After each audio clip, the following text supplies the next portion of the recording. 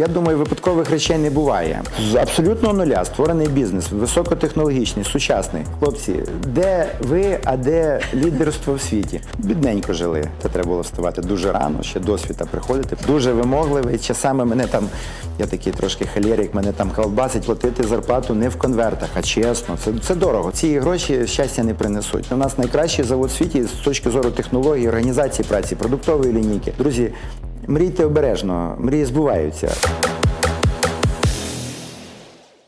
Бізнес-бранч на 12-му каналі. Як завжди, з вами я, Луїза Каримова, і ми продовжуємо розкривати для вас та розповідати історії провідних та успішних людей Волині. Сьогодні говоримо на тему великого бізнесу і не тільки, адже до студії завітав Петро Пилипюк.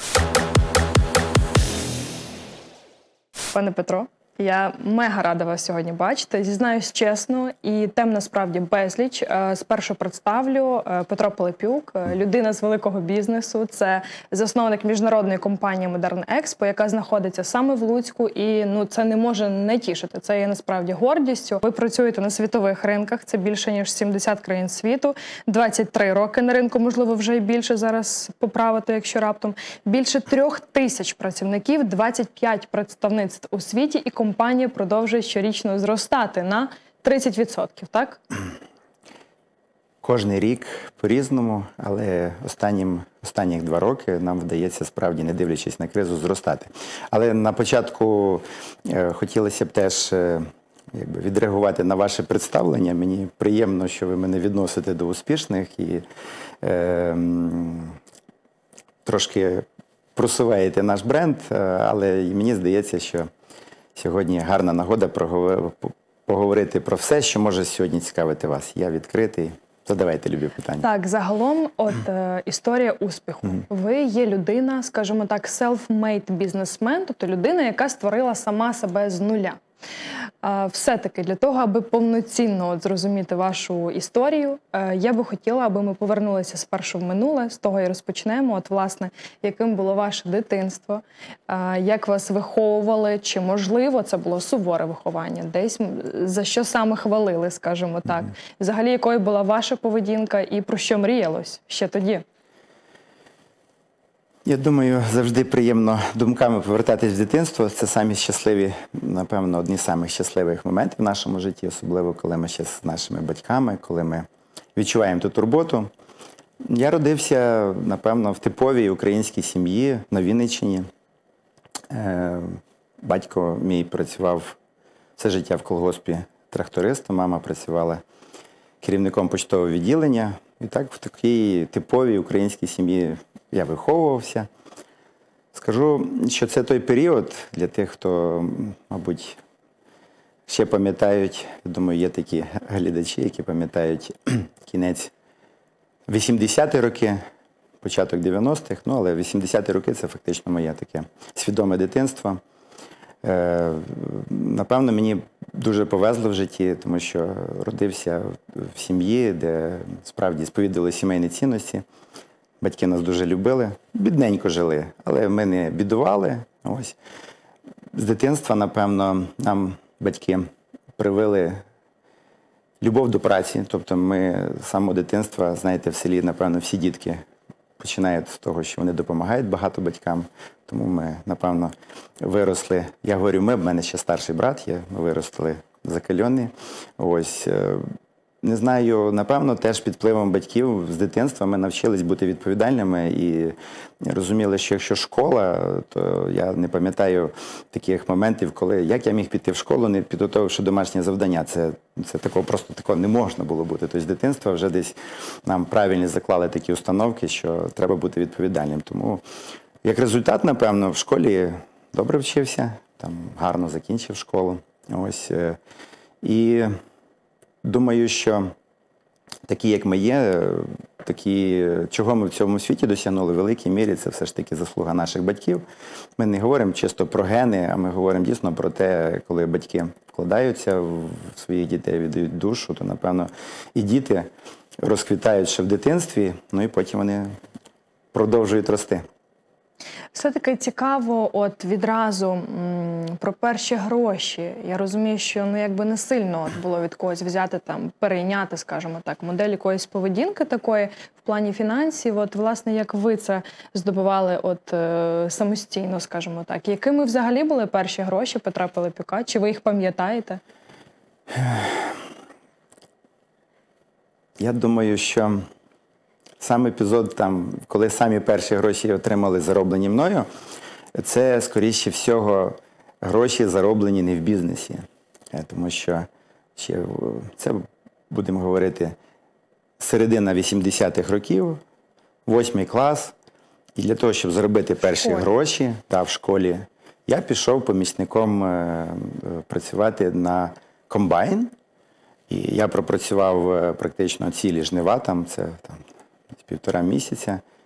І це була така hard робота, треба було вставати дуже рано, ще до світа приходити, поки комбайнер прийде, треба було всі там деталі там, смазати, підготувати комбайн, і потім цілий день в полі, і вже пізно, пізно ввечері ти вертаєшся. І ті перші гроші, я не пам'ятаю, які вони були на розмір, але це були суттєві гроші і справді зароблені. Оце якщо говорити про перші гроші. А щодо такого серйозного, як ви кажете, в бізнесі, коли це вже стало відчутно? Ну, треба розуміти ще трошки цікаво е, в ретроспективі часу подивитися. Е, Фактично, я поступив, е, вступив до вищого навчального закладу. У нас е, Луцький державний педагогічний інститут імені Лесі Українки. Це був е, 87-й рік, і це було перші, опять же, вже таке майже самостійне свідоме життя. Да, батьки допомагали, чим могли. Тоді мені навіть вдалося бути на першому курсі таким відмінником, що я навіть повищену стипендію отримав. От замітьте, що навчанням здобув додаткові гроші. Але е, після першого курсу е, це ще роз, Союз не розвалився, але це вже була така кінчина Радянського Союзу, коли, хто пам'ятає, ті часи це були такі часи великого дефіциту. От. І волиняни, напевно, точно пам'ятають, коли появилась Варшавка. Е, У нас тут в Луцьку, коли почали е, наші е, сусіди поляки приїжджати з Турції цілими автобусами і привозити там помаду, якісь светри бойс. І це той період, коли зароджувався такий ще хандель. У нас ще не було якби незалежної України, ще капіталізм не почався, але ми вже бачили, як працювало підприємництво. Підприємні поляки їхали в в Польщу з Польщі в Турцію щось продавали, там купляли, сюди привозили. І перший бізнес, е, який я зміг зробити, опять же, треба було гроші. На батьків я завжди теж хотів був самостійним, вони там допомагали, але після першого курсу їду в стройотряд, Будзагін. В Казахстан ми летимо своїми колегами будувати там корівники. Ось. І появляється перша бізнес-думка. А давай ми візьмемо оці помади, там такі були красиві різного кольору помади, там тіні, це було такі супер-супер таке е, дефіцитна річ, е, і ми там їх продамо. І ми тут з моїм колегою купуємо там на ті гроші, які ми там десь скопили, чи там батьки дали, я вже не пам'ятаю. Але суть в тому, що ми приїжджаємо, помімо того, що ми там будуємо, то ми ще і, і першим підприємницький досвід продаємо це. Слухайте, пішло на ура, продали, заробили перші гроші. Вау, тут дефіцит. Всі приходять, місцеві красуні говорять, давайте ще, хлопці. Ну, ми тут я пишу своєму брату, слухай, тут такий попит, давай срочно висилай мені посилку. Ми там декілька місяців будемо, будемо робити бізнес. І так такий перший був досвід. І напевно він був побудований на тому, що ви знаєте, в, кожний е, історичний час е, е, молоді люди, напевно, ще з школьної шкільної лави можуть побачити можливість чесно, легально заробити гроші. Головне бути, напевно, спостережливим, бо ми тоді зрозуміли, що є дефіцит, що є попит, що можна е, точно класний продукт всегда знайде свого споживача, і що можна на цьому заробити. Це було ще після першого курсу зрозуміло. Ну а далі вже воно пішло, коли вже ти зрозумів, що є можливість е, в цей період дефіцита в одному місці купити, в другому продати. Тоді Польща відкрилась, можна було щось в Україні купити такого простого, буденного і завести на базарі продати. От такий був час е, цікавий. І він, напевно, показав. Е, багатьом тим людям, що в той трудний час, бо це був такий не тільки період дефіцитів. Розвал Союзу був такий, коли люди працювали на заводах і гроші отримували, за них нічого не можна було купити. Ось це було такий ну, цікавий час, е, перехідний. Ось. То е, коли ти не чекаєш, що хтось тобі щось дасть, батьки тобі мусять допомогти. Коли ти шукаєш, ти обов'язково знайдеш. І, можливо, сьогодні нинішні студенти по-іншому підходять і не їдуть- їдуть в будзагін. Вони сьогодні працюють в якихось там проєктах, вони там е, вчаться програмувати і вже студентської лави заробляють гроші, працюючи в, в стартапах. І в нас такий, наприклад, в нашій компанії є сьогодні такий маленький стартап, про нього мало хто знає. Фактично в основі є там другокурсник, талановитий е, хлопець е, з нашого університету.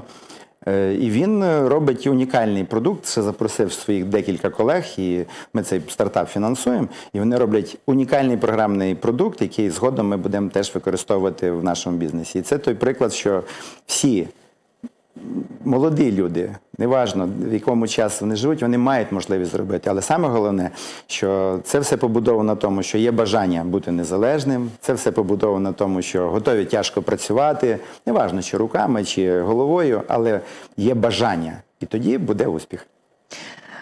Ви вже пригадали про свого брата. Я е, знаю, якщо я не помиляюсь, ви разом з ним е, почали власне Модерн Експо в 1994 році. Так, Так.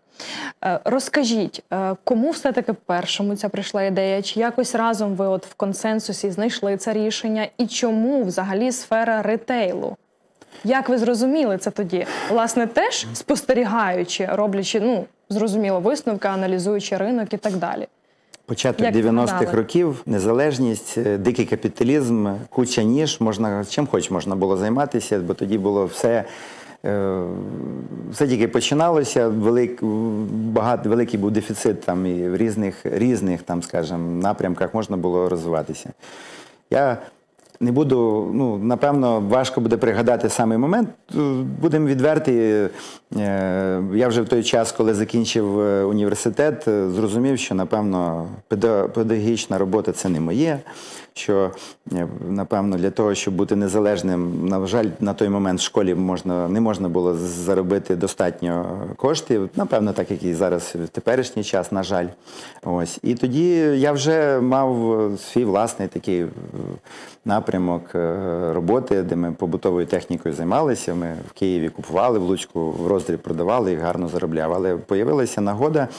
е, Брата, е, друзі займалися торговим обладнанням, запропонували стати нам дистриб'юторами тут. Да. Це було таке просте, дуже, але гарне обладнання зі скла, зеркала, такі вітринки, такі куби. Да. Ну і власне ідея, що давай попробуємо, давай попробуємо. Ми нетипово підійшли до цього, створили кампанію. Уж зараз багато хто ну, боїться легально працювати, створювати кампанію, платити офіційну зарплату, податки. Всі хочуть бути підприємцями. Цього нічого поганого немає. Але ми тоді нетипово підійшли. Можна було теж підприємці. Ми створили кампанію і справді почали займатися дистрибуцією. Е, І це голосно сказати дистрибуція. Там було перших декілька магазинів, які були готові купити, і ми успішно продали. І так воно так день за днем пішло, декілька місяців. Ми там привозили, продавали, монтували. Все так гарно було, вже був попит. І в якийсь момент ми зрозуміли, що сам процес перепродажу він ну там невеличкий, скажімо, будемо говорити, прибуток, і можна його покращити, якщо самому виробляти. От і ми вже в той момент за декілька місяців зрозуміли, що ми можемо виробляти, е, купуючи там. Великих форматах скло, зеркало, хтось має його різати, шліфувати, хтось має збирати. І тут вже пішла така більш глибока, скажімо, переосмислення бізнесу, якщо так можна це назвати на той час. І таким чином е, ми настільки були, будемо говорити, добре підійшли до цієї справи, що в нас такий був попит, що ми не встигали. Е, Виробництво почали в підвалі орендованому в гаражі, так як говорять, там прийнято говорити, що там самі круті стартапи починались в гаражі. Ну, ми тоді слова стартап не знали, але це теж було в гаражі. Ось і Напевно, навіть будучи такими, взагалі там декілька троє людей працювали. Потім до нас приєднався в команду ще один такий доволі талановитий чоловік, е, молодий з Луцька, який міг гарно малювати. Він красивий, він шикарний робив дизайни. І це нам навіть, будучи таким маленьким, не заважало бути успішними, що ми почали такий попит, і ми цей попит почали задовільняти, розширювати лінійку.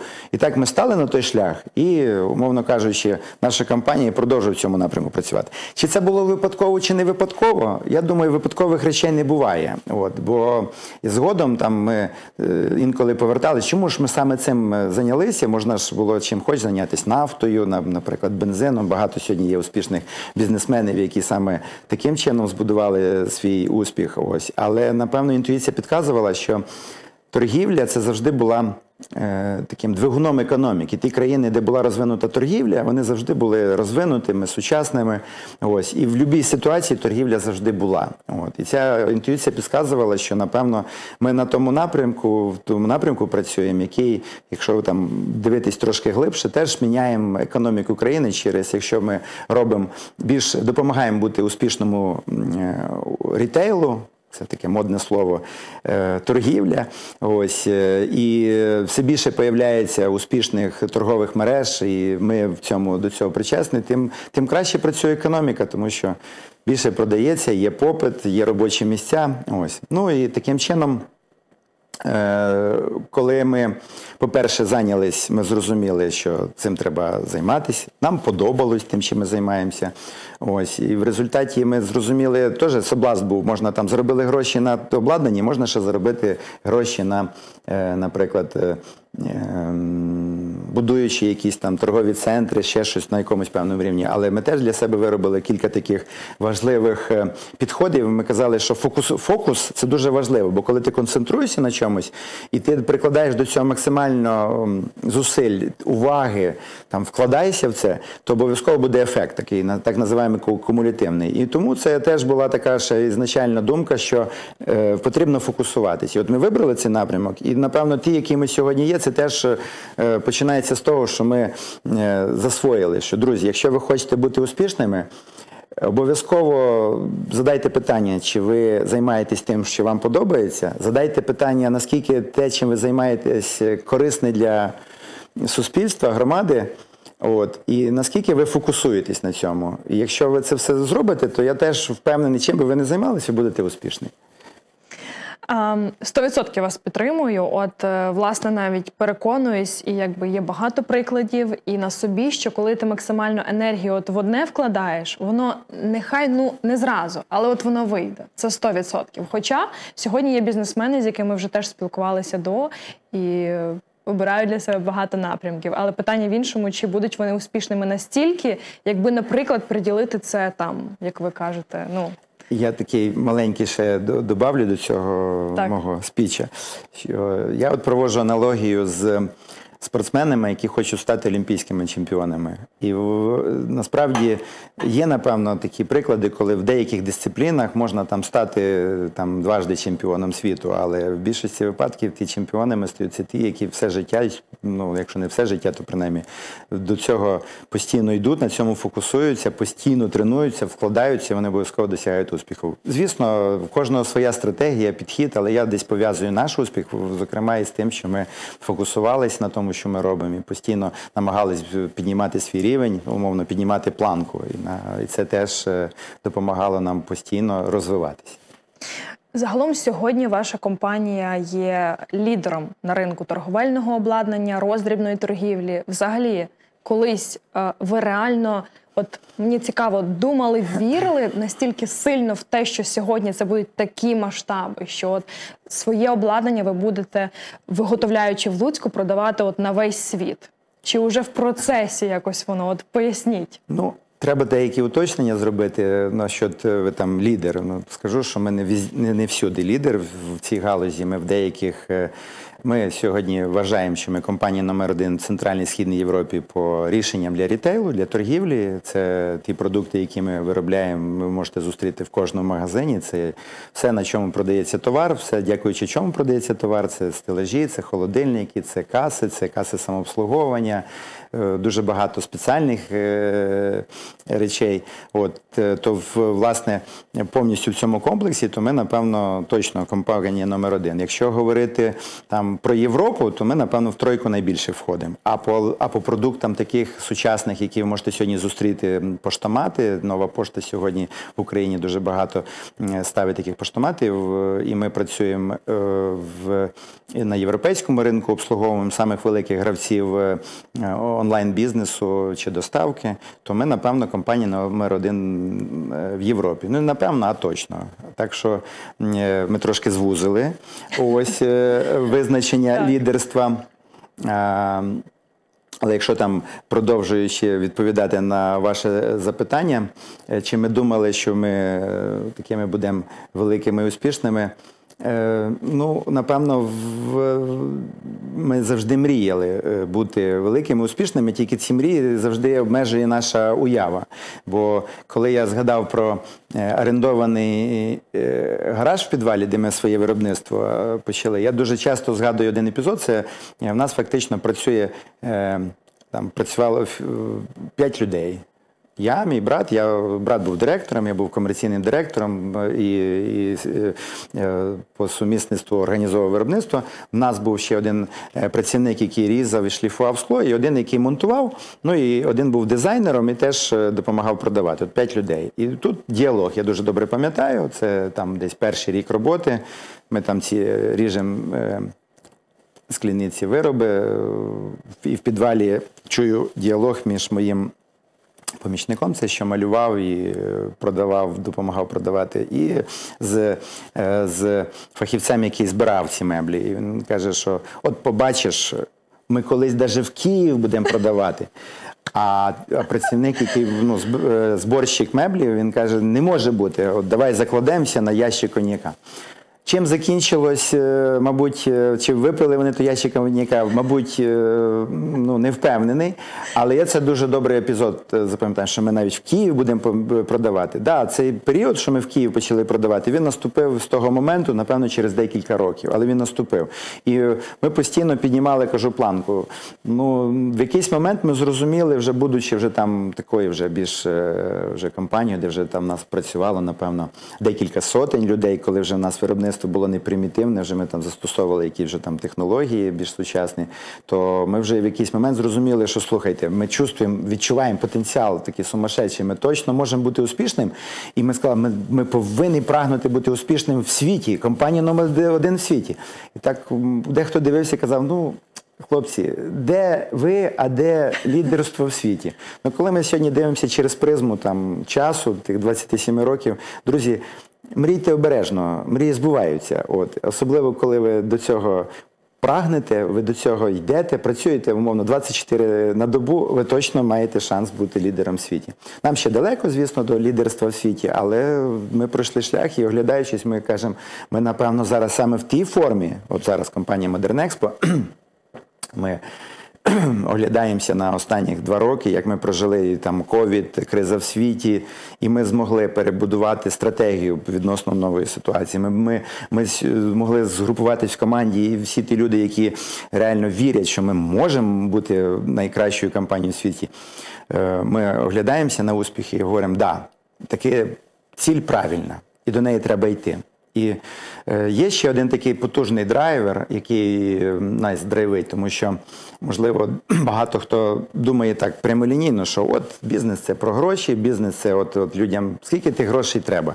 Насправді гроші це індикатор успіху. І чи ти в правильному напрямку йдеш, якщо ти бізнесом займаєшся, чи ні, якщо ти правильно все робиш. А слово правильно це коли ти правильно працюєш з клієнтами, правильно даєш продукти, ти правильно організовуєш колектив, то в тебе в результаті є прибутки. Якщо ти щось робиш неправильно, ти забуваєш для чого бізнес, або ти думаєш, що буде якась халява, ти будеш продавати якісь неякісні речі, заробиш гроші, або ти будеш обманювати там державу, не платити податки, або ти будеш відноситись по-хамськи до своїх працівників, в тебе щось вийде, не вийде.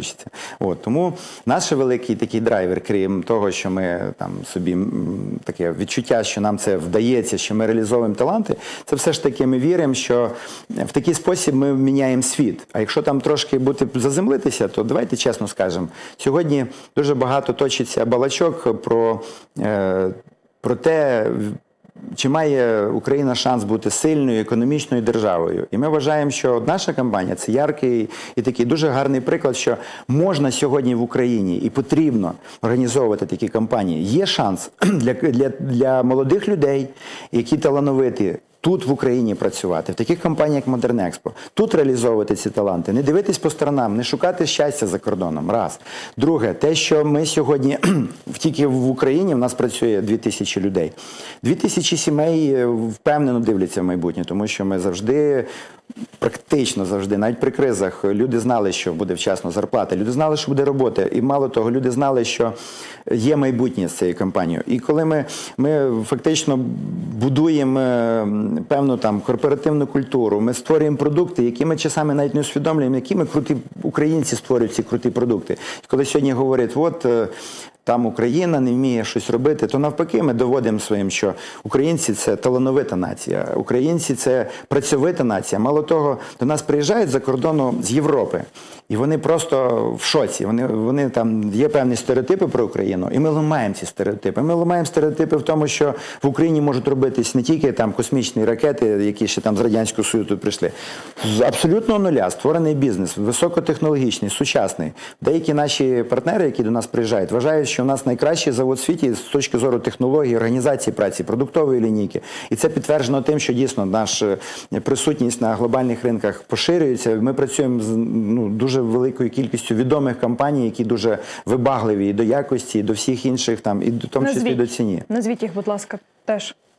Ну, якщо там будемо йти від України, то будемо говорити, що важко буде назвати якогось е, рітейлера, якусь мережу, яка з нами не працює. Ми сьогодні офіційні постачальники таких відомих мереж, як ЕТБ Маркет, Сільпо, Епіцентр, е, Велмарт, е, локальні наші мережі, 7/23, дуже прогресивна, до речі, мережа, дуже інноваційна. Ось.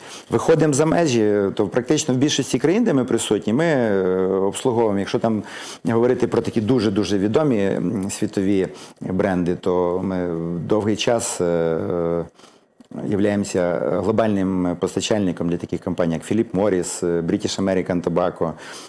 Нашими клієнтами є компанія Інтермарше. Ми доволі ми в Франції ми працюємо і е, скажу, що таку левову частку поставляють, е, поставляє наша компанія, наші українські продукти там стоять.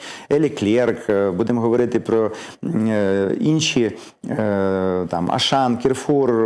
Ну я думаю, ті, хто подорожують, теж можуть зустріти наше обладнання в багатьох країнах світу. Я згадую епізод, коли я там перші рази попадав в Дубай, і коли ти заходиш в Дубай Мол, Боже, там це щось було несамовите, там 15 років назад. А коли ти сьогодні заходиш і там. Е, Компанія Carrefour е, і перші, що тебе зустрічає, касові бокси з лейбою Modern Expo. Ось. Я думаю, що е, усвідомлення наших людей, що вони роблять такі круті речі, якими користуються в всьому світі, Ну, практично, там ясно, 70 країн світу ще далеко не весь світ, але це в основному такі ринки, як там, де ми живемо, Європа, багато країн бувшого Радянського Союзу, і е, в тому числі е, Близький Схід, Північна Африка. У нас є сьогодні партнери в Австралії, Америка. Ну, це, це, я думаю, це те, що теж мотивує нас робити. І багато хто в нас працює, е, теж не за гроші. Багато хто якраз усвідомлює, що ми робимо настільки класні круті речі, які ламають стереотипи, доводять е, е, те, що в Україні можна робити бізнес, легально робити, чесно його робити, платити податки, білі зарплати. І при цьому всьому інвестувати тут, в Україні. Левова частка тут, в Україні. У нас тут головний офіс нашої групи компаній. Ось. І ми створюємо сьогодні і продукти, і стандарти, і десь в якійсь мірі міняємо ну, не тільки там невеличку частинку заводу. Ментальність е, наших, е, скажімо, е, українців. Ось. Ну і відношення до України ми міняємо. І це класно, і це круто. Я, до речі, теж знаю, що на вашому виробництві немає нечистих, скажімо так, зарплат, і ви дійсно платите податки. Я вже це чула неодноразово. Але от мені власне цікаво ваша думка. Чому сьогодні компанії, реально великі компанії в Україні, ну чомусь не можуть іти таким шляхом? Ну, давайте е, важко відповісти на це питання. Я думаю, що з одного боку багато людей трошки е, ну, намагаються йти легшим шляхом, коли будемо говорити, що Україна, яка стала на шлях демократії, їй складно збудувати суспільство справедливе. Ми сьогодні багато говоримо про корупцію. Ми сьогодні говоримо про е, недосконалість е, судової системи.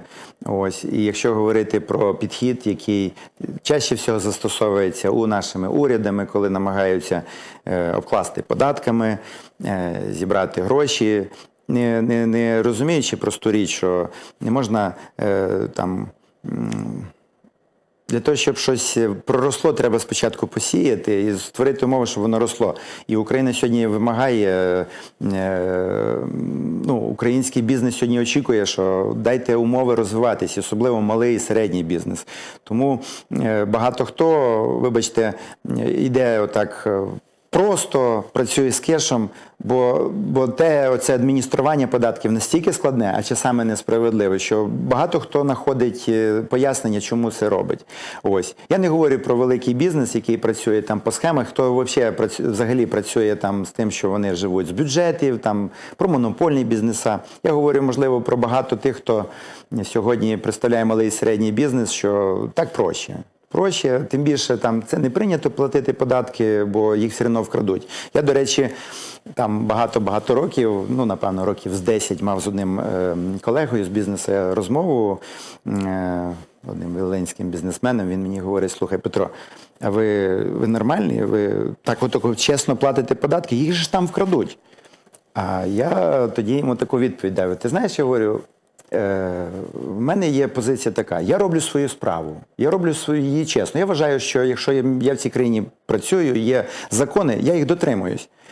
То, що їх вкрадуть там, будемо вважати, це питання не до мене. Це їхнє особисте рішення, і я впевнений, що все буде винагороджено. І те, що хтось вкрав, то ці гроші щастя не принесуть. Тому я роблю свою справу, і я вважаю, що це правильно. От. А те, що хтось е, нечесно поступає там з тими податками і намагається з них обагатитися, я думаю, що все стане на свої місця. В кінці кінців я вірю в вищу силу, що е, там теж бачать, е, хто як працює. Ось другий аспект, е, що багато підприємців сьогодні в таку пастку попадають, коли вони е, багато в багатьох випадках думають, е, як не заплатити податки, ну Обійти. обійти, так. Да. І вони настільки на цьому концентруються, там створюють там кучу підприємців, там щось комбінують, навіть в правовому полі працюють, що вони забувають про головне, про прибутки. Бо я собі, будучи ще там зовсім зовсім молодим, коли ми компанію створили, не маючи ніякої там економічної освіти, я так мислив дуже просто і понятно. Мені казали, Петро, в цій країні не можна працювати чесно. Ти фактично всі, все, що ти заробиш, якщо будеш чесно працювати, там все заберуть держава, ну через податки тобі нічого не лишиться. А я казав, слухайте, ну так ж не може бути. Дивіться, якщо я заробив там умовно 100, і я маю віддати 25%, в той час було 25% податку на прибуток, мені ж 75 лишиться? Ну да. То, типа, то чого не можна працювати, чесно плативши податки? Ось. Тому ми фокусувалися завжди на прибутках. Ось. І ми ніколи не шукали схем, можна було там щось оптимізовувати, але часами це забирає набагато більше часу, енергії. Мало того, це пастка, в яку потім будемо говорити теж це, типа шкелети в шкафу, що рано чи пізно це може зіграти абсолютно проти. І тому ми ще там на початку створення компанії, те, що я казав, ми зразу створили компанію, зразу почали отак в лоб платити податки. Ми були, напевно, одною з перших компаній в Луцьку, яка офіційно привезла торгове обладнання за кордон не розмитнила. Ми зазвичай тоді возили 80, це 90-ті роки. е, Через границю можна було бусик привезти обладнання, дати митнику 300 доларів і не, не завертати собі голову. І один епізод такий цікавий, коли ми офіційно привезли цей бусик, запломбований, офіційно замитнений, розмитнений. Митник подивився, скільки там позицій. Ніколи це не займався. Говорить, слухай, хлопці, я вам дам 300 доларів, тільки більше сюди не приїжджайте. Але ми стали на, на, настояли на своєму, що ми це будемо робити. І це нам допомогло, вибачте, е, забутися про те, що можна щось комбінувати, щось, якісь схеми придумувати, уход, е, там, від податків десь е, увилювати. А сфокусувались на прибутку, сфокусувались на продукті, на клієнті, на його потребах, на виробництві, на корпоративній культурі. На великом, на цілях, на місії, на візії. І це нам допомогло. Тому я от е, не знаю. е, Коли тебе поради не питають, не давай поради, але все ж таки свій комент скажу. Я вважаю, що е, якраз потрібно сьогодні думати не про те, як десь відпетляти від податків, а думати про клієнта, про, про його про цінності для клієнта, про прибуток, працювати правильно. І це може дійсно допомогти маленьким фірмам вирости в великій фірмі, а великим фірмам вирости в great company, в чудові фірми. Ну і власне ваша компанія є прикладом, тому сьогодні молоді люди, які тільки поки мріють, так ну там щось маленьке навіть відкривати, вже можуть надихнутися і зробити свої висновки. Ви згадали про колектив. Правильно я розумію, не лише волиняни працюють. У нас є компанії в різних країнах. е, Зокрема, ми маємо компанію в Білорусі, в Польщі, в Німеччині, в Франції, в Англії, в Арабських Еміратах. Ось е, то в з цих 2700 2000 працює в Луцьку. Більш ніж впевнений, що левова частка, це там будемо говорити за 90 з лишнім відсотків, це все-таки волоняни працюють. Є в нас е, е, гарні приклади, що компанія настільки цікава, що до нас е, переїжджають з інших міст жити і працювати.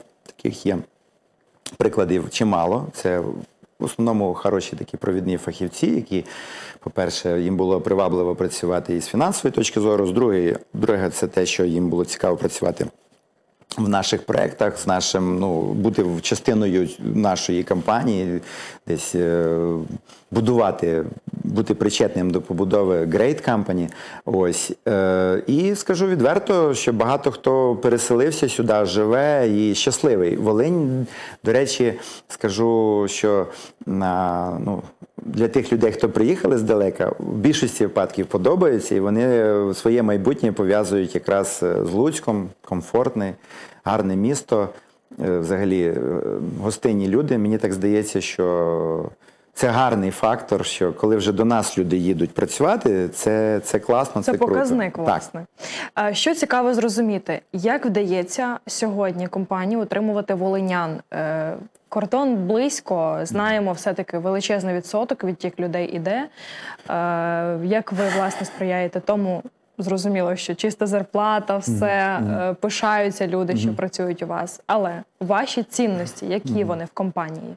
Дивіться, ви дуже гарне питання задали, е, про, почали про цінності.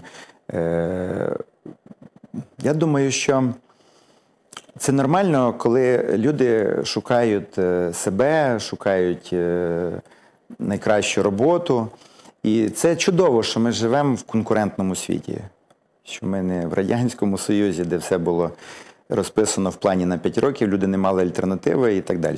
І що сьогодні люди е, шукають кращої роботи, і те, що відкрився кордон, безвіз появився, це, отак скажу чесно, з одного боку, ми зразу відчули, я говорю про бізнес, про роботодавців, особливо Волинь, що люди.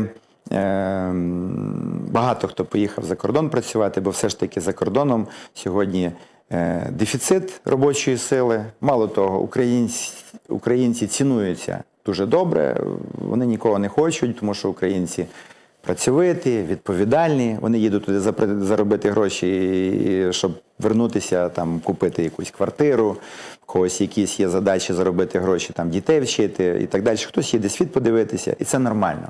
От. І ми в цій конкуренції живемо, і ми розуміємо, чим ми можемо конкурувати. Звісно, е, якщо там говорити, що мотивує людей ходити на роботу, то чомусь там е, в більшості випадків люди впевнені, що ну ясно, гроші заробити, треба кормити сім'ю. Ну, дійсно, якщо там згадати піраміду Маслоу, то саме так є, що люди повинні як мінімум заробити собі на те, щоб поїсти, вдітися на безпеку, на житло, щоб, е, вибачте, щоб сім'я була не, не, не, не, була нужденна. Ось тому зарплата сьогодні відіграє надзвичайно велику роль. Ось. І е, якщо вже там ми зайшли від зарплат, то ми зразу зрозуміли, що відтік буде, доки ми не вирівняємося в зарплаті, або принаймні не наблизимося до тих зарплат, які сьогодні пропонують на заході. Ось на жаль, там різниця, коли там відкрився е, безвіз і яка зарплата була в Україні, це напевно там було як мінімум там. Деяких випадках два рази. Я не говорю там про Німеччину, там може там в три рази. От в Польща була, напевно, в два рази. Ось. І ми розуміли, що ми мусимо все робити, щоб люди могли в нас заробляти. Тому там останні скільки років, від, відколи безвіз, ми постійно там зарплату піднімаємо, піднімаємо, і ми не встигаємо. От знаково в цьому році, що ми зрозуміли, ми там готувалися, щоб люди не пішли, там гарні умови праці, але весною цього року все рівно там появляються сезонні роботи, відкриваються якісь можливості, люди пішли. Тому ми в цьому році сказали, що ні, ми будемо боротися до останнього за наших людей, тим більше ми їх вчимо, розвиваємо. Це класні, круті спеціалісти. Вони там в багатьох країнах просто востребовані і зразу їм пропонують навіть керівні посади для тих працівників, бо ми класні, у нас багато є речей. То ми з одного боку піднімаємо зарплату. В цьому році е, наш середній дохід, середній дохід по виробничих спеціальностях до, до 40% виріс. І ми це в різний спосіб робили. І прямі доплати, от коли ви- виросла там ставки, і, і коли ми преміювали за те, що за інтенсивність праці, за ефективність праці. І навіть ми ще запровадили такі речі, які нам не передбачені умовно колективним договором, виходять за рамки там якоїсь зарплати. Ми, наприклад, зрозуміли, що, на жаль, клімат міняється і інколи жарко. Ну, влітку, то ми, наприклад, запровадили в цьому році. Ми там давали Кока-Колу і морозиво нашим працівникам. Це було для них сюрприз, при тому, що зарплату вчасно виплачуємо. Була можливість заробляти понаднормово, бо в Польщу їду теж треба розуміти. Люди і вони не працюють е, так, як 8 годин, потім 5, 5 днів в тиждень. Вони працюють, як правило, так, щоб заробити гроші 12 годин.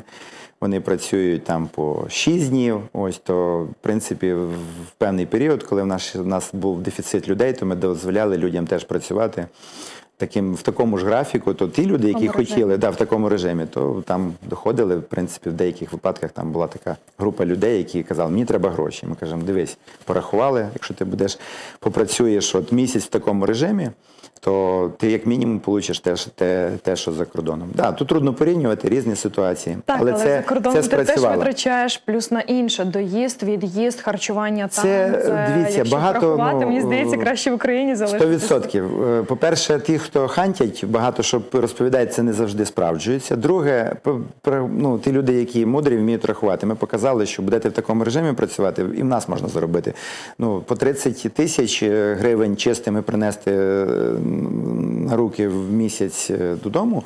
Це вже ну так, плюс-мінус недалеко від того, що Польща платить. І в нас таких було там е, сотня людей, які хотіли, і вони отримали цю можливість. Ну і другий момент, що е, ми, ви правильно спочатку згадали, гроші це ж не основне.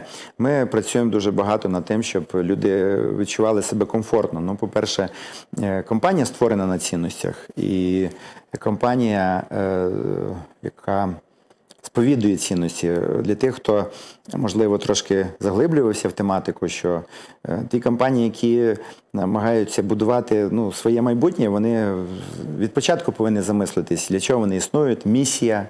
Тобто для чого ти існуєш? То в нас місія крута. Ми we create retail new, ми створюємо новий рітейл. Це ми, ми, ми це про новий, про нові тренди в рітейлі. Ми про новий тип обладнання, про інновації. Це перше. Друге, візія це ким ми хочемо бути. Are modern. Ми хочемо бути завжди сучасними. Це дуже складно. Е, Щоб бути сучасним, це треба бути, це значить і опинитися в майбутньому першим. А щоб опинитись в майбутньому першим, це треба запрограмувати це майбутнє, запроектувати і втілити цей проект. Ми цим займаємося.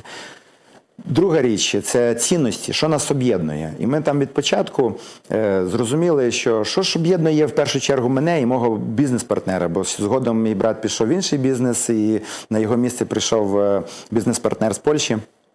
От, і ми коли почали аналізувати, що ж нас об'єднує. Чесність, відповідальність, націленість на результати. І в нас було десь до сіми цінностей, може навіть деякі часи більше. І коли ми останнім часом переосмислили, ми сказали, що є дві ключові цінності, які об'єднують всіх, хто в компанії працює. В першу чергу це йде від власників, це наша позиція, це тим, чим ми живемо. Я особисто, це чесність і оптимізм. Коли ми е, проаналізували, то дійсно Чесність це не просто там гарний лозунг, от цінності, це те, чим ми живемо. Коли я згадував, що ми почали там від початку там заклали таку високу планку, чесно платити податки, чесно платити зарплату не в конвертах, а чесно. Це, це дорого, це дуже дорого. Це тільки можуть дозволити собі умовно ефективні компанії. Це не так просто, щоб заробити на, на себе, на людей, ще й податки заплатити. Ось. Е, Чесність це не тільки чесність там до клієнтів, наприклад. Да, ми дуже, дуже до цього теж підходимо, що клієнти, ми дуже чесні до клієнтів. Це з точки зору ми ніколи не, не, не йдемо з якимись унікальними предложеннями, які зараз на ринку багато. Умовно там откати ніхто нікому не дає. Це Категорично, це принципово, це не наш шлях. Ми, якщо навіть там щось помиляємося, чесно признаємо помилки. Ми так само чесні до наших працівників, і це теж люди відчувають. Ми так само чесні і до громади, до міста. Ми чесні до до природи. Ми дуже екологічні, ми дуже багато робимо, щоб е, не за е, наш, наша діяльність не. Не шкодила природі. Я не буду там зараз перераховувати, там, які ми сертифікати європейські маємо, як ми там це робимо, це може окрема тема. Ось. То, власне кажучи, коли люди приходять в компанію і вони розуміють, що наші цінності, наші слова не розходяться з ділом, вони теж е, почуваються комфортно. І це один із елементів, який я вважаю дуже важливий і базовий, що люди в першу чергу, наша основна цінність це наші люди. От і ми можемо багато говорити про технології, там про якийсь успіх, але люди, які сьогодні повірили в нашу компанію, працюють, то 100% це гроші, це вже як би друга тема. І вони в першу чергу працюють, бо вони можуть розкрити свої таланти, вони можуть навчитися, вони можуть досягнути успіху, працюючи тут, на Волині, в цій компанії. І ми це показуємо. Да, не все нам вдається. Є багато людей, яких десь можливо ми втратили, бо були неуважні до них. Е, Можливо, наші керівники ще сьогодні теж потребують е, е, розвитку, бо е, відверто скажу, ніхто не родився керівником. Більшість наших керівників це люди, які виросли від самих базових спеціальностей. Це теж один із проблем, з якими сьогодні живемо, але ми змінюємося. І напевно, ті люди, які сьогодні працюють, можуть впевнено сказати, що да, напевно, той модерн, який був два роки назад, він трошки вже інший, більш модерновий, більш сучасний і більше про людей.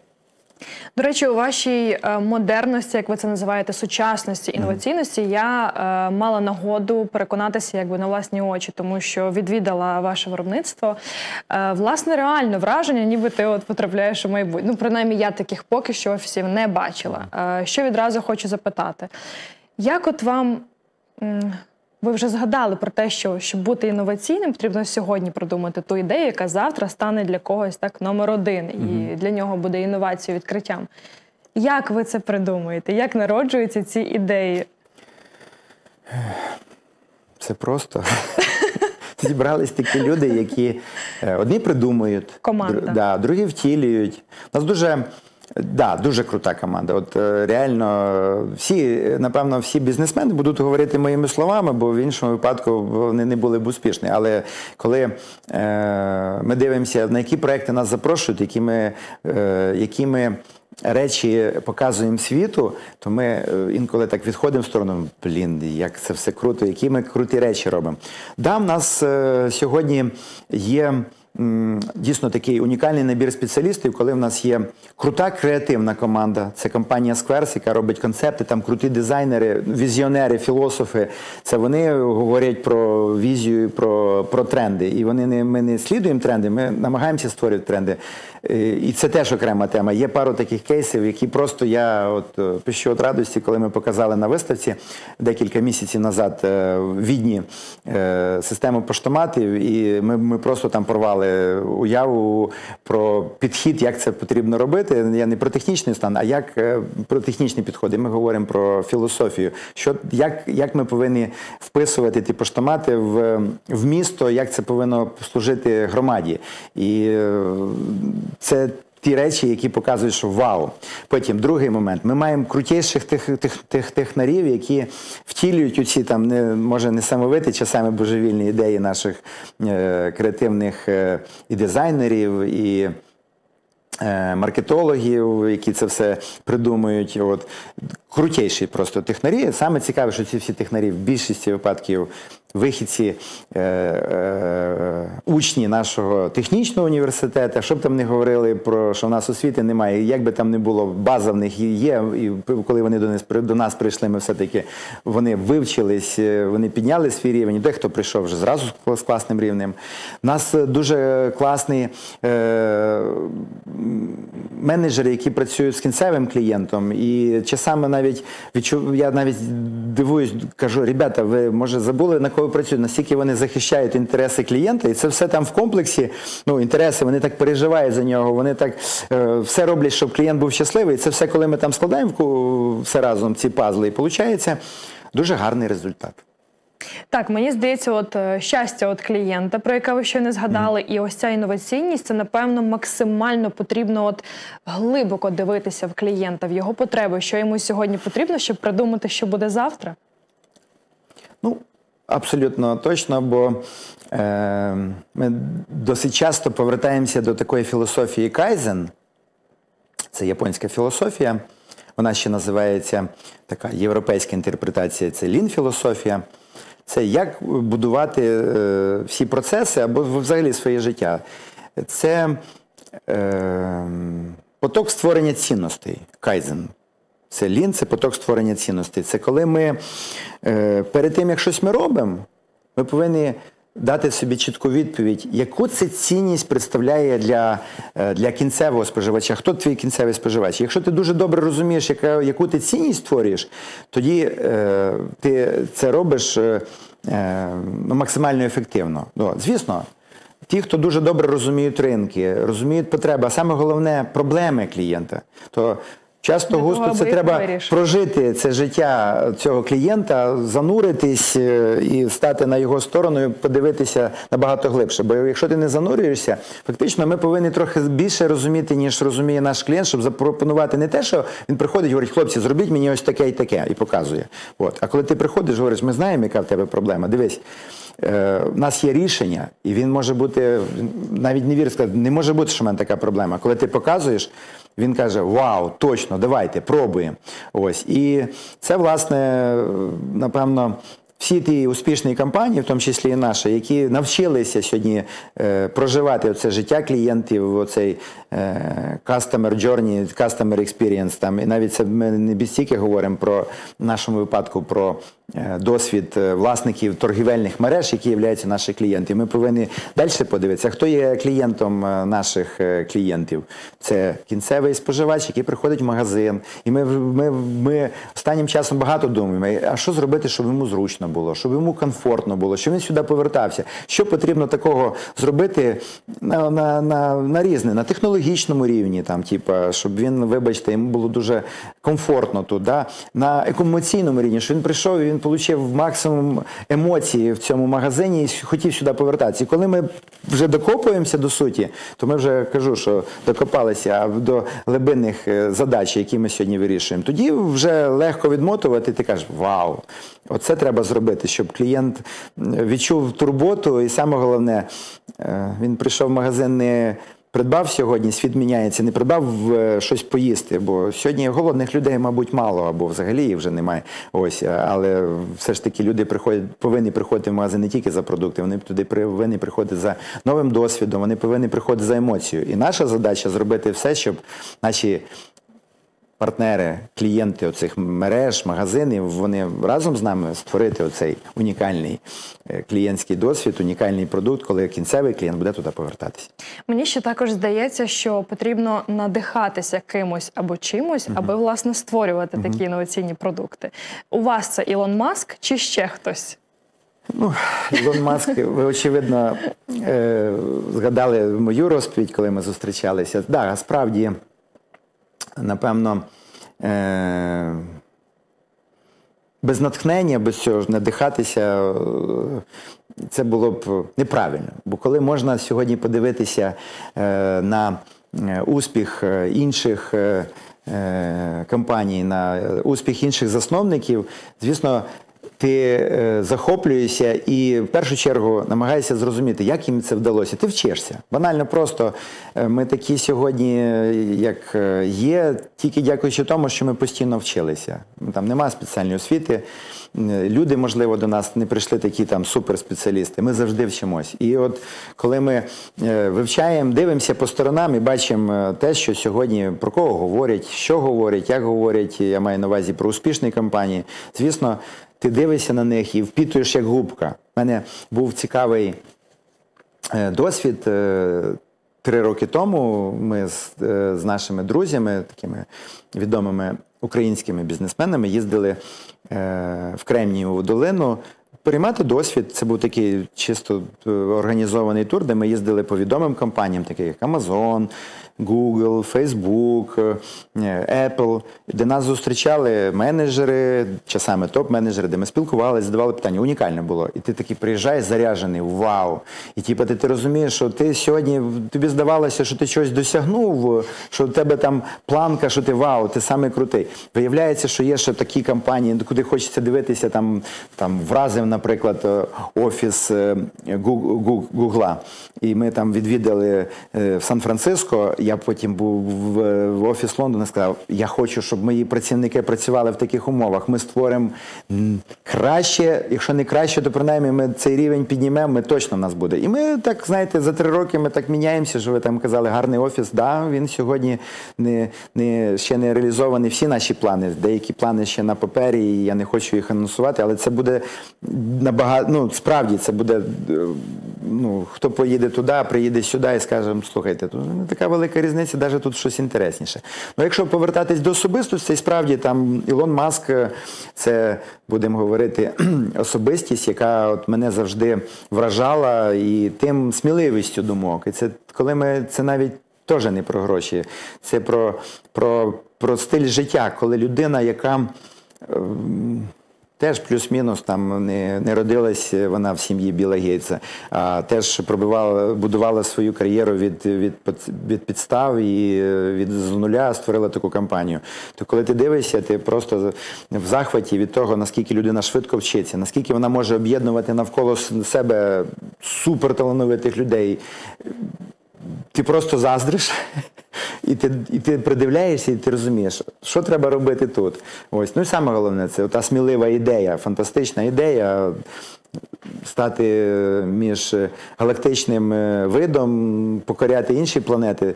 Це дійсно те, що об'єднує сьогодні навколо таких компаній там тисячі людей, які готові працювати в цій компанії. Да, нам ще далеко до таких, ну так, відносно далеко. От, але ми теж е, це не про гроші, це про це перетворення світу, це про нові челенджі, це про зміни, які ми можемо зробити. Ми, українці, волиняни, ну міжнародна компанія. В нас так само є інші національності, але тому ми говоримо, що. Ми люди небайдужі, які е, мріють, сміливо мріють, і саме головне втілюють ці мрії в життя. Трішки хочу зачепити тему колективу, власне, ваших відносин із колективом. Мені цікаво, е, чи вас бояться, зрозуміло, що поважають, але е, чи бували такі моменти, що намагались догодити, і ви це, наприклад, відчували і в певний момент там припиняли? Чи немає взагалі такого?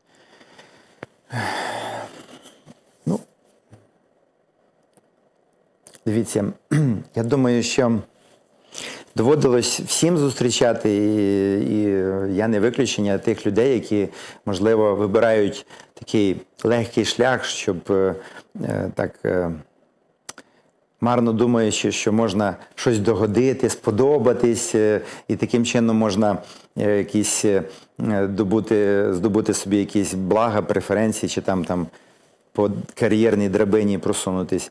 Е, Коли ми керуємося цінностями, і е, цінність є чесність.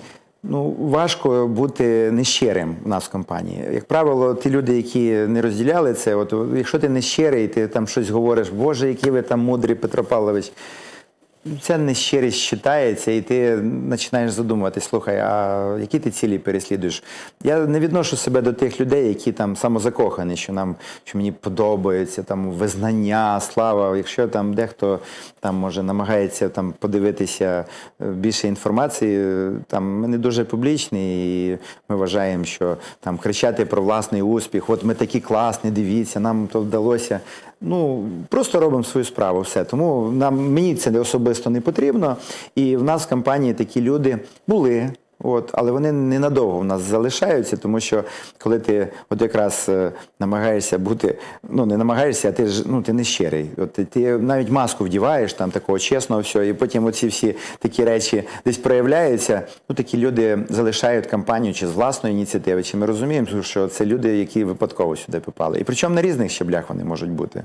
Так, коли тобі говорять батьку, там, типу, ти говориш, ну все, понятно, щось тут нечисте, раз ти мене Ти іде там не так, батько наш, да, ну, бо, бо я кажу, я то е, часто з гумором підходжу до, до таких моментів, але вмію е, читати людей і справді е, люблю.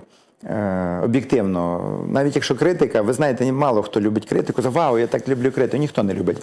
Але завжди намагаюся себе повертати до того, що критика е, люди, давайте будемо чесними. Якщо я помилився, скажіть, де моя помилка, я буду виправляти. Це дуже важливо зворотній зв'язок. От. Але не обманюйте. Коли добре, кажіть добре. Коли погано, кажіть погано. Тоді, тоді дуже швидко вирішується питання. Ти працюєш над якимись помилками, навіть якщо я був десь несправедливий, але люди там бояться сказати. Я всім кажу, що друзі, в нас немає якоїсь там, знаєте, ієрархії. Я там небожитель. Мене, напевно, сьогодні е, в цеху е, бачать не менше, ніж в офісі. В цеху це ну, на, на виробничому нашому майданчику. Я, е, я так чесно, я дуже люблю от, ходити на наше виробниче виробництво. У нас там декілька таких заводів під одним дахом. Які продукують свою продукцію, то мене можуть працівники дуже часто бачити, можуть до мене підходити, спілкувати, задавати питання. Ось і я це, це чудово просто, коли в нас там класні можуть бути діалоги, коли простий працівник приходить говорить, я хочу з вами зустрітися.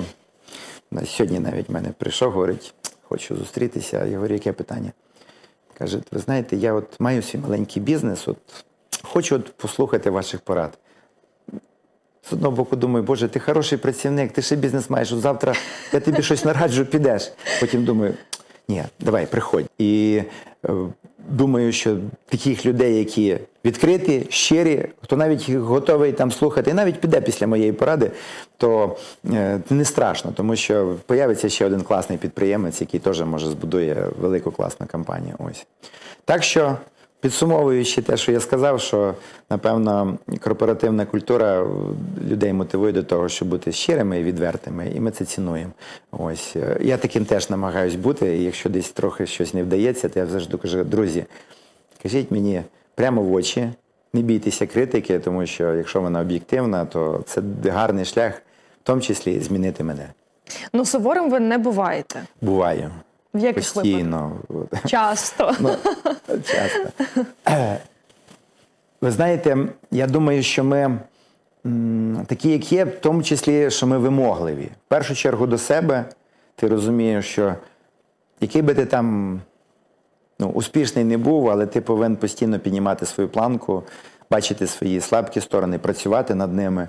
Ось. І є такий така трошки доля перфекціонізму, що ти, ти от дуже нервуєшся, дратуєшся, коли щось не виходить. Ну от як можна було зробити так неякісно?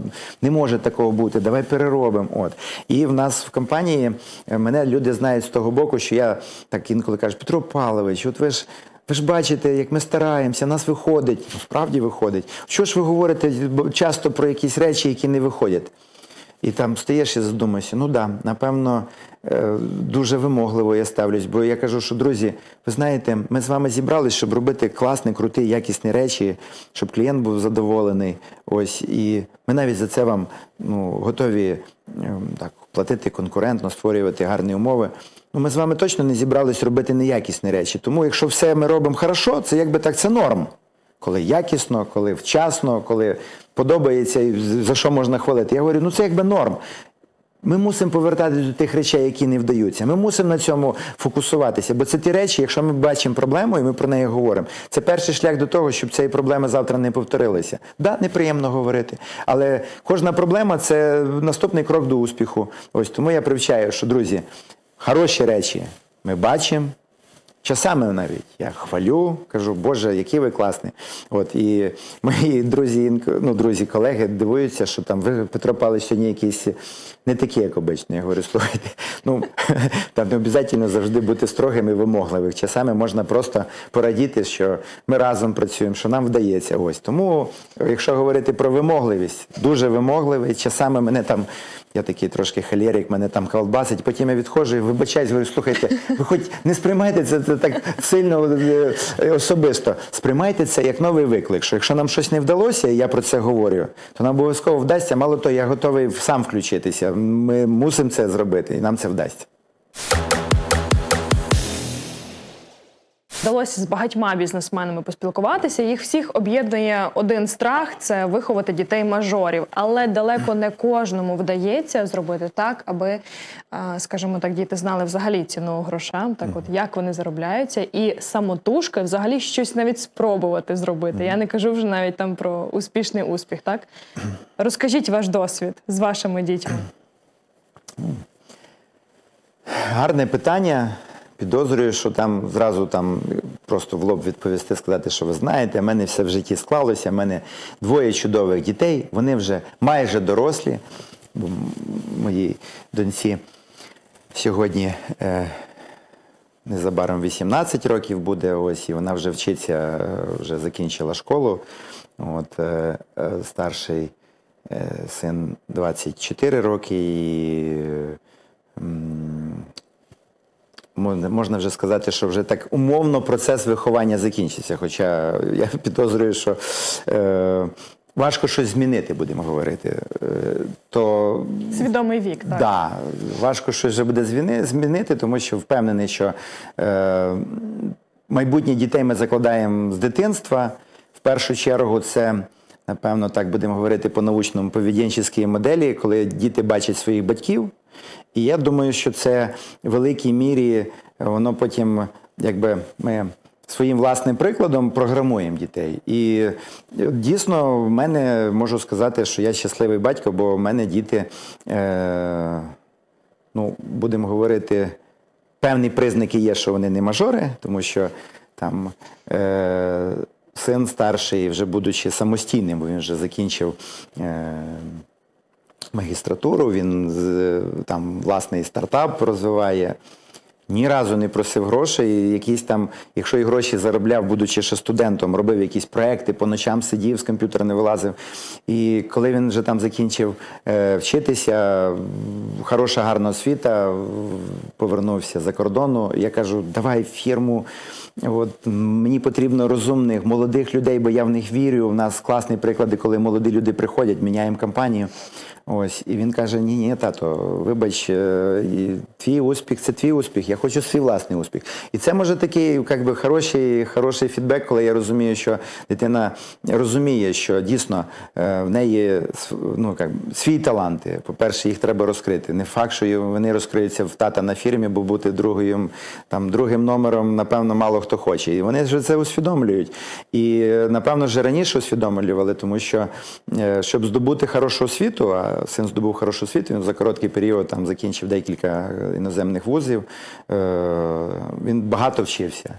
Він ну, віддавався навчанню. Може, там студентські роки треба трохи джагі-джагі позажигати. Я так своє студентські роки згадую. Ось. Але він не мав часу там на якісь дискотеки там е, і таке інше. Він працював. І як результат, ми бачимо, що сьогодні він же там сам заробляє гроші. Не вже сьогодні, вже і раніше заробляв. Купив за, за, за ті е, зароблені гроші таке скромне БМВ якогось там шестирічне, ну в доброму стані троєчку. От я говорю, синку, вона така трошки ненадійна, давай я тобі куплю. Ні, мені нічого не треба. Візьми гроші, нічого не треба. Ось тому це вже якби дуже надіюсь, що він не зміниться. І в принципі є такі ознаки, що все, все склалося. От е, про доньку ще рано говорити, бо вона тільки-тільки стала студентом, але в принципі підхід плюс-мінус похожий, бо вона ніколи е, ну, не, не вітає якісь ідеї. Там слухай, доці, давай там ми там щось тобі там купимо, е, там чи ще щось. Е, Звісно, ще той вік, коли треба допомагати, ще студентка, але теж е, ми бачимо, наскільки вона намагається заощадити е, гроші своїх батьків. Ось тому е, я думаю, що щасливі ті батьки, де діти справді ще з дитинства вчаться бути відповідальними, вони дійсно відповідальні. Ось і діти, які розуміють, що в них є унікальний шанс створити свій, свій успіх. І якщо е, вони можуть це зробити і бути незалежними ще таких з молодих, доволі молодих років, так як десь і я в свій час, е, будучи ще студентом там, другого курсу, я навчився заробляти гроші, щоб не брати гроші в батьків. Бо я розумів, що батькам важко, там в колгоспі дуже мало платять. Ну, то, що важко, просто тих грошей немає. Ось. І я вже там з другого курсу вже міг і вже навіть чомусь допомагав своїм батькам фінансово. От.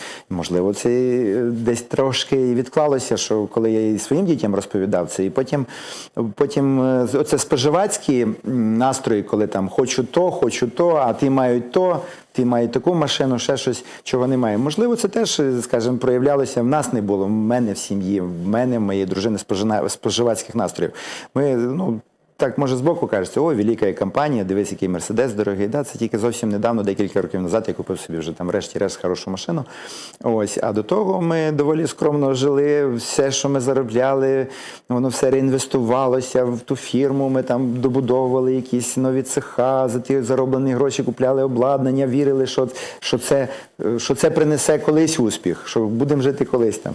Да, тому те, що ми десь теж не мали такого там понти, шик, не бачили в тому потреби, воно теж, теж відклалося на, на дітях. Тому я так вважаю, що нам вдалося там, закласти, ну, можливо, не якщо не закласти, то принаймні щось зробити таке, що діти правильно думають і правильно е, працюють над собою, правильно будують своє майбутнє. От е, син навчався за кордоном, повернувся в Україну. Е, Він вже тут будує цей стартап.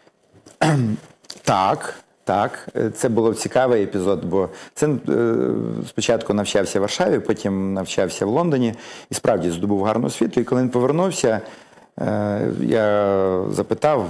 Природньо, ти ж був е, в Англії, міг залишитись, у нас там є своя компанія, міг туди працювати. Він говорить, тато, я не хочу працювати за кордоном. Я хочу, я повертаюсь в Україну, я вірю в цю країну, я хочу тут бути успішним. І я там, от це не для пафосу звучить, там аж мурашки по шкірі війшли, коли син дав таку відповідь. І е, саме парадокс, що він так е, впевнений був, що з хорошою освітою, такою MBA, там в Лондоні, що він тут швидко знайде роботу на його такі скромні потреби він порахував, скільки він хоче, щоб там на пальне міг там, е, щоб бути трошки незалежним. І виявилося, що не так просто знайти в Україні роботу, що великі компанії міжнародні вони не беруть студентів, вони вже там беруть готових фахівців. Ну, якби не все просто.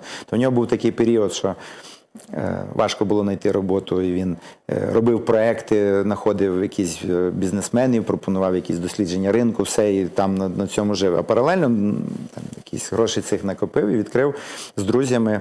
е, Ну, війшов в компанію стартап е, міжнародний. У нього партнери теж молоді колеги, з якими він вчився в Варшаві. Це компанія е, міжнародна, є в Польщі, є в Україні.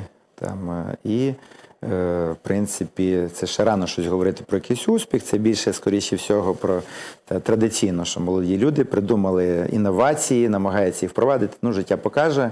Щиро за нього вболіваю. Ось е, десь е, там десь підсвідомо думаю. Дай Боже вийде, ну не дай Боже вийде, ну вернешся до мене. От. Тому Але він старається. Він старається в Україні. це Дивіться, це не те е, слово, що старається. Багато хто думає, що от е, круті стартапи, які там взлетіли, або там якісь успішні бізнеса, повезло. Так як я дивлюсь на свого сина і згадую свою роботу, ну, живе цим, якщо не 24 на добу, бо ще треба спати, то в принципі вихідних в нього точно немає. І як приїжджає навіть додому, ми там чуть-чуть поспілкувалися, сідає за комп'ютер, вперед, в нього якісь там коли. Тобто, я думаю, що при такому підході точно будуть результати. Звісно, там ще час перевірить, чи ті інновації, які вони впроваджують на тих ринках, е, вони спрацюють. Вже перші є е, гарні новини, що в їхній там стартап є вже інвестори, вже заінвестували, якийсь наступний раунд. е, Там, це для мене теж такий трошки вау-ефект. Ось тому вірю, що все вдасться. Донька теж вірить у майбутнє в Україні, чи можливо десь далі планує їхати? Ну, не було в нас такої відвертої розмови. Е, Ще рано говорити, це ще тільки тільки тільки початок. Ось е, хочеться вірити, сподіватися, що, е, що в неї теж може з'явиться така позиція. Знаєте, це нема такого якогось шаблонного мислення. Син побачив можливості в Україні. Донька поки ще не коментувала, ще рано коментувати. Побачимо. А, взагалі знаю, що ну скажімо так, колись, коли я тільки вперше дізналася, що ви живете в Луцьку, я була здивована, приємно здивована. Хоча мені чомусь здавалося, що ви або в Києві, а, ну або десь Або за за кордоном, кордоном. тому що так, маєте безліч представництв. А, чому для себе власне обрали місто Луцьк е, і для прожиття, і для розвитку? Тому що звідси все почалось? Люди шукають, де їм краще, де вони відчувають себе щасливими. Ось е, я, я вже там трошки е, вже вам на початку сказав, що я ж взагалі не, не, не, не лучанин корінний. Я народився і виріс на Вінниччині, але попав сюди в молодих роках вчитися. Я тут е, отримав освіту, почав свою першу справу, зустрів своє кохання, ось е, чарівну е, волинську дівчину. Закохався, побрались, народились діти. Ми тут, я відчув тут оцей смак щастя, і, напевно, він і залишається і саме тут. І я пов'язую, напевно, що я щасливий тут. Тут, напевно, багато чинників. Це не тільки там, там кохана, е, діти, робота. Ось, е, можливо, це унікальний волинський клімат, можливо, це старовинне місто, а можливо, це люди, які, яких я обожнюю, волиняни, які працюють в нас, і з якими ми поряд живемо. Ось, е, ну так пафосно може, але скажу декілька епізодів. Ми дійсно. е, Вже там фірма вже була така доволі на плаву, і ми е, запрошували там вже почали запрошувати якісь тренінги, коучери. Та там у нас був епізод, коли приїхав модний коучер з Києва, і там такі якісь супертренінги по селі Полаганію проводив. Е, Це так років з 17 назад, може. Ось. І він відверто казав, що ребята, а що ви тут робите? Ну, типу, весь бізнес, всі гроші в Києві. Ось. І е, це нормально. Хочете робити великий бізнес, е, ви тут не зробите. Ось. Але я не пам'ятаю, що я відповів, але ми, напевно, це може виклик навіть був, щоб довести, що можна бути успішним, доволі забезпеченим, не виїжджаючи кудись. Е, І взагалі зараз у нас драйвить така історія є цікава. Е, Зустрілись ми е, з одним хорошим айтішником, він сам свою компанію має. Ми там давно були знайомі на одній події, і я почав розповідати це так років 4 чи 5 назад, що я дуже мрію, щоб е, в нас в компанії появився потужний такий IT-відділ, який би робив би інновації. В нас е, появилися круті айтішники, бо я вірю в історію, що коли ми поєднаємо до наших таких, може, може традиційних. е, е, рішень для рітейлу, таких там, як там, не знаю, там стележі, каси, холодильники, додамо ще інтелекту штучного, додамо туди якихось ще е, програмного забезпечення, зробимо інноваційні продукти. Це за цим майбутнє. І мені цей айтішник говорить, він е, працює е, аутсорс, е, надає, його компанія надає там е, з ізраїльським компаніям. От, і е, він сам теж дуже інновативний. Він каже: слухай, Петро, ти знаєш, е, От що б ти не робив, е, тобі не вдасться отут е, в Луцьку зібрати суперкрутих, класних, бо вони всі суперкруті, класні, виїжджають за кордон, всі їдуть в Силіконову долину і, типа, навіть не, не, не, не пробують це робити. На що я йому відповів? Я говорю, ти знаєш, Ти може правий, бо напевно сьогодні там Силіконова долина, Штати це найкраще місце для стартапів, краще місце для реалізації, тому що там Сполучені Штати створили все для того, щоб е, такі компанії їхали туди, розвивалися і так далі. Але я говорю, ти знаєш, м, Силіконова долина чи Кремнієва долина це як сонце. От уяви собі сонячну систему, і все навколо них крутиться. От. Але в кінці кінців є хороші приклади, якщо є земля, і навколо неї крутиться місяць, тобто не тільки сонце притягає, і земля притягає. Я говорю, я за те, щоб створювати свої центри тяжіння. І ми говоримо, будемо тут в Луцьку робити центр тяжіння. Ми будемо робити все для того, щоб такі спеціалісти мало того не виїжджали за кордон, а щоб, можливо, згодом і приїжджали до нас працювати, тому що ми будемо давати такі можливості, такі проекти, які будуть, можливо, конкурувати з тими проектами, які робляться в Кремієвій долині. І це почало працювати. У нас сьогодні є в складі нашої групи, у нас тут в Луцьку є компанія Mint Innovation, яку ми разом створили з хорошими айтішниками, які давно в цій сфері, нашими теж волинянами, ми створили спільну компанію. Ось і сьогодні ця компанія частина от такого нашого успіху, яка теж. е, От, Важко сьогодні, знаєте, боротися з американськими айтішками зарплатами, але сьогодні, напевно, ті дуже талановиті ребята, які в нас працюють, це там і айтішники, і хардверщики.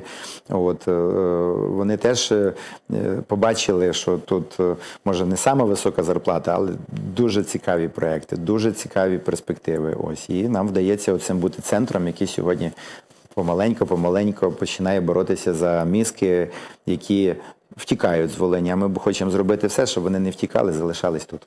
А, власне, в Луцьку вас можна побачити за кермом і без охорони. А, чому в Петра Полипіка немає водія, немає охорони? Я розумію, що ви чесний відкритий, і навряд чи ви когось боїтеся, так? Але в багатьох людей все ж виникає це запитання. Ну, цікаве питання. То напевно треба питати тих людей, в кого охорона, чого в них охорона. Бо я розумію, якщо є охорона, то треба від когось охороняти. Там, можливо, якісь є ризики, може є вороги. Ми, власне, намагаємося жити там, знаєте, по, по нашим цінностям. І може Богу дякувати, там не нажили тих ворогів, може, може, не знаю. Власне кажучи, ніколи в нас не виникало таких потреб. Ми дуже комфортно почуваємося в суспільстві, в громаді і ну, захищеними в місті. Для чого ж нам охорона? Нема. Нема причин. По-перше, я розумію, що хтось дійсно там своє життя береже, бо може якісь е, все може бути там, не знаю, рейдерство, можуть бути там погрози, там може хтось боїться, що там хтось викраде когось, не дай Боже. Да? От Ми теж е, всі під Богом ходимо, але, але ми позитивно мислимо, ми оптимісти, ми вважаємо, що все буде добре і нема потреби в цьому абсолютно. Ну і якщо говорити про водія, то я відверто скажу, що е, був період, е, коли там був персональний водій, возив, бо багато дуже подорожували. Ну, по, по роботі доводилось їздити. Якийсь період там карантином карантин прийшов, ну, ковід, може менше подорожуємо, тому більше, е, ну, скажімо, переосмислив, е, чи потрібно, щоб персональний водій стояв під е, офісом, ждав, бо більше часу все ж таки доводиться проводити в нас в компанії, на тому ж самому виробництві. Ось, якщо б доводиться десь їхати, то я доволі, скажімо, е, великий стаж маю як водія, такого, скажімо, акуратного, надійного, то впевненого. Тому мені ще отримує задоволення, коли я можу десь поїхати, власне, бути за кермом, бути учасником руху. Ось тому відмовився від е, водія. Хоча хороший в мене був водій. Ось. І, е, власне, так, і живемо. Так і живемо. Він не образився. Ну, ви знаєте, я завжди з радістю приймаю людей в команду, і дуже мені болісно з ними е, прощатися. Ось, але ну так склалося, що я сказав, що ну все добре, але ну водій, я без водія буду їздити, е,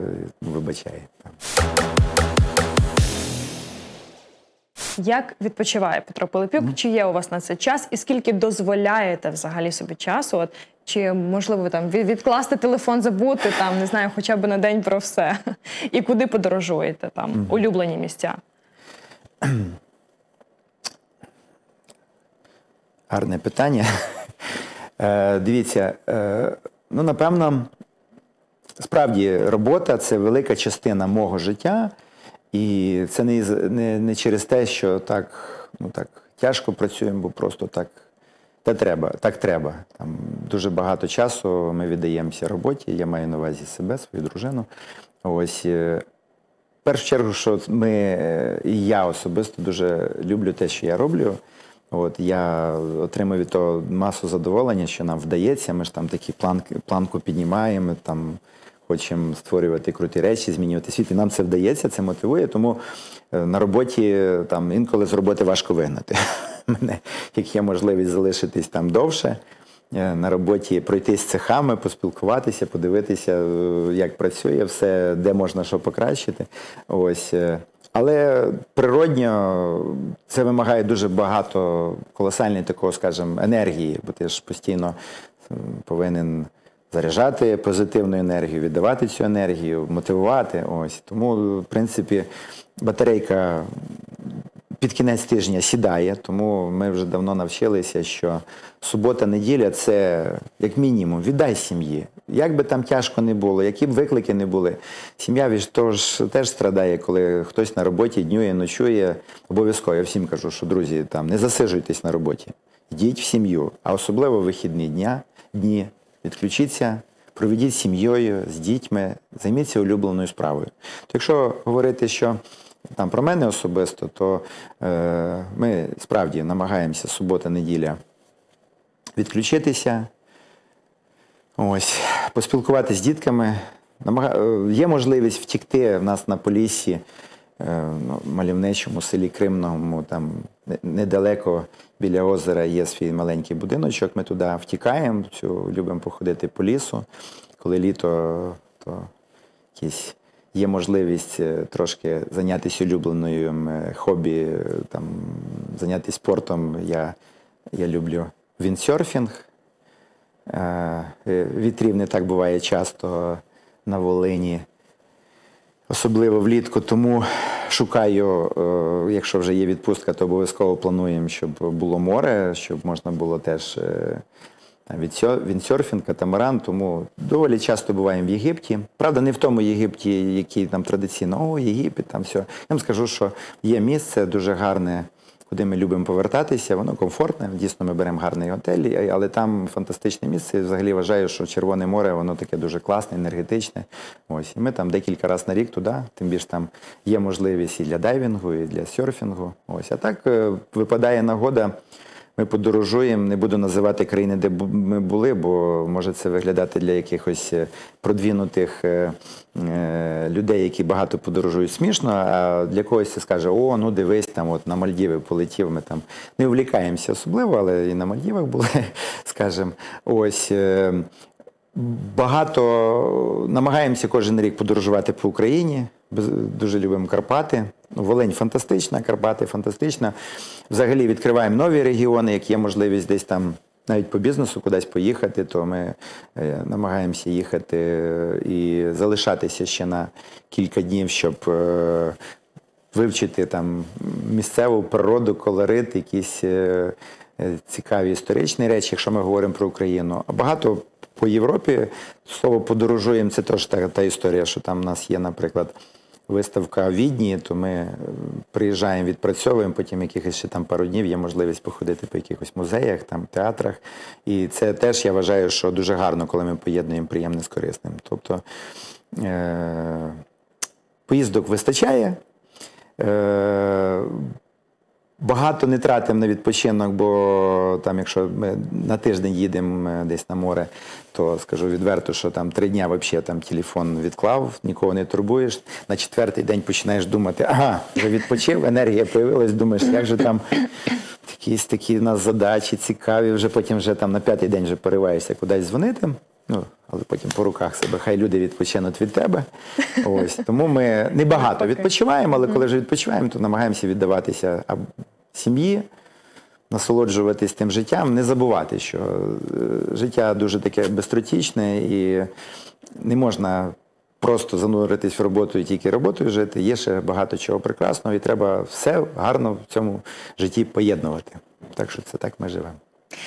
Дуже добре, що ми так зачепили тему сім'ї. Ви взагалі рідко про неї говорите. Ну, принаймні, я не чула. Сьогодні ми вже зрозуміли, який Петро Пилипюк як особистість, бізнесмен в колективі, який він тато. Але ми ще досі не зрозуміли, який Петро Пилипюк от вдома з дружиною. От, власне, чи могли би ви от описати себе, не знаю, свою поведінку там? Е- Розкажіть, який ви вдома? Ну, ви знаєте, тема, про яку я не дуже люблю говорити, е, і тим більш публічно. Я скажу, що я щаслива людина, у нас щаслива сім'я. Я думаю, що цього буде так доволі достатньо, тому що е, ну, думаю, що мене зрозуміють ті люди, які е, сповідують таку думку, що радуватися щастя нужна тихо. Або Ну. радіти щастю потрібно там не, не, не показово. Радіємо тому щастю. Я вже, ви вже зрозуміли з попередніх слів, що все, все склалося, і дружина мене підтримує, і вона є частиною нашої команди, і так само переживає. І коли ми разом е, в сім'ї, то ми один одному допомагаємо і в роботі, і в побуті, і намагаємося кожного хвилину радіти, що є така нагода бути разом, бути поряд. Я думаю, цього достатньо. Так, це позиція. Це було важливо почути. На сам кінець є ще швидкі бліци запитання. От перше, що приходить на думку, відповідайте. Бізнес в Україні це Це несамовитий, цікавий род занять. головний конкурент, якщо він є у вас. Якщо він є у нас, е, він є, але я, мабуть, не назву, хто це. Чи хотіли б, аби діти продовжили вашу справу? Все ж таки. Е, Звісно, хотів би. Опишіть себе трьома словами.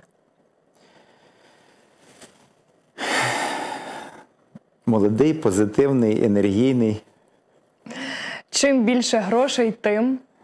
тим більше проблем. Коли востаннє Петро Пилипюк економив?